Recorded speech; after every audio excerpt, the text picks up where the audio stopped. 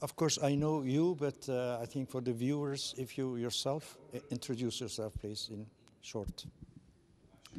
I am uh, Peter Galbraith. Uh, I'm a former American diplomat who served as the first U.S. ambassador to Croatia, but uh, I have also had uh, a long involvement on the Kurdish issue going back to the 1980s when I led a mission that documented Saddam Hussein's use of chemical weapons against the Kurds, got the U.S. Senate to pass comprehensive sanctions on Iraq, was it with uh, uh, Jalal Talabani during the uprising in 1991, and uh, continued to be involved, uh, including uh, helping President Barzani in the negotiations for the rights of Kurdistan and the Iraqi constitution in 2005.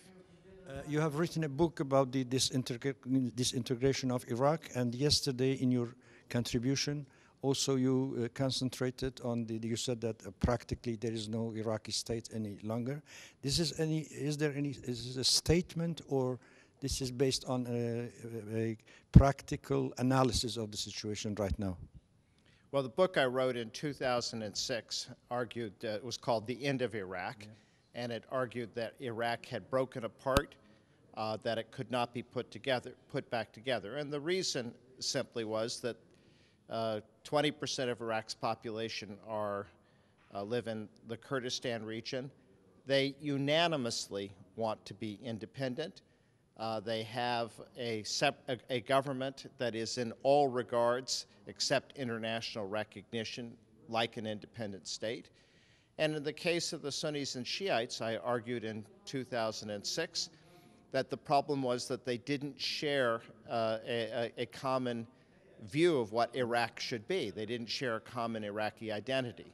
The Shiites, who were the majority, came to power through democratic elections, uh, seek to define Iraq as a Shiite state. Their closest ally is Iran, uh, and that's unacceptable to the Sunnis. And I think 10 years later, as we look back, uh, the, obviously exactly those divisions are there. Uh, the uh, Kurdistan continues to be like an independent state. It has even a separate policy from Iraq, uh, foreign policy. Uh, President Barzani has announced that there will be a referendum. The Kurdistan parliament has set up a commission to conduct the referendum. They haven't yet set the date, but this will come. And uh, so there will be an independent referendum on independence. And in the case of the uh, Sunnis and Shiites, you know, what happened in the, with the Islamic State, with Daesh, this wasn't uh, because uh, Maliki was a sectarian. Uh, it was that from the very beginning, the Sunnis did not accept that the Shiites should rule Iraq. The insurgency began. Uh, and um, uh, and, and from Maliki's point of view, then, what was the Iraqi army for? Not to defend against Iran, who were their best friends, not to defend against America, who were friends, but to defend against the Sunnis. So the idea that you would bring the enemy into your army didn't make sense. And, and you know, he was right in one way. Uh, the Sunnis in Mosul in 2014, the Sunni officers, they, they were in touch with Daesh. Uh, obviously, uh, if uh, such development will be realized in, let's say, during the during this year or next year, it depends a little also about the regional powers. For instance, you have Iran, you have uh, Turkey in the area concerning the situation in Iraqi Kurdistan because they are also involved in somehow. What do you think their reaction would, would be vis-a-vis, uh, -vis, let's say, an independent Kurdish entity inside Iraq? Uh, well, Turkey uh, is the country that has more than any other made possible uh, the independence of Kurdistan. Uh, Turkey is the major source of foreign direct investment in Iraqi Kurdistan. But more importantly, Turkey has constructed a pipeline that now enables Iraqi Kurdistan to export, I think today it's about 660,000 barrels a day. Uh, in other words, uh, uh, Kurdistan now can export enough of its own oil that it doesn't need a share of Iraqi oil, which anyhow it's not getting paid.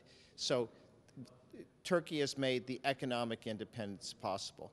Turkey's position on the political independence, uh, basically if you hear what Turkish politicians say, including the spokesman for Erdogan's own party, they've, they've said that um, uh, you know, that, that uh, uh, the Kurds have a right of, of self-determination, uh, that, you know, they hope for the unity of Iraq, but they understand the right for self-determination. Even uh, Kenan Evren, before he died a few years ago, he, he said, well, of course Kurdistan's going to be independent. Yeah, but the question is, uh, if, uh, for instance, they say the Kurds have the right of self-determination, how the treatment of the Kurds inside Turkey could be justified in this way? Well, again, there, here we're talking about the Kurdistan In Iraq. uh, the region in the former Iraq, uh, which also Turkey sees uh, it, it's it's really it's its best neighbor, uh, has bad relations with all the rest of its neighbors, but good relations with the Kurdistan region. It sees it as a way, an extension of Turkey's influence, so a strategic asset, uh, a bulwark against an Iranian-dominated Shiite Iraq. Um, the si- domestic situation in, in Turkey um, is, is something from the point of view of the Turkish government, uh, and I, actually I would say objectively, it is a different situation. Different in what way? Well, again, from the point of view of the Turkish government, it's uh, within Turkey. Uh, even from the point of view of the, um, of the of the Turkish Kurds, both the HDP and the PKK, they they're not for independence. Uh, they're for uh, recognition of Kurdish rights uh, and uh, element of uh, local self-government as well as uh, into the war and amnesty. So, the the Kurds in Turkey are not wishing to leave Turkey. And so that's, a, that's also an important point. But uh, this question has not been tested really. I mean, uh, there has not been any opportunity for the Kurds in Turkey that democratically to say what they want, for instance. Well, they, they've voted uh, in democratic elections uh, for the HDP, uh, which you know, is an expression of presumably what they would like to accomplish. Do you think uh, that uh, the democratization of Kurdish question, I mean, the, that's it, the concept is called Turkification of Kurdish issue, will be helpful for advancing the Kurdish question in those countries? I don't know what, what is the term Turkification. Turkification in this sense that, for instance, uh, a political party like uh, HDP will not just uh, have its activity in the framework of uh, Kurdistan region in Turkey, but for the whole Turkey, I mean. Well, I, I think that's that's true because um, uh, first the Kurds uh, have migrated out of the southeast. So, of course, we know the largest Kurdish city in the world is Istanbul.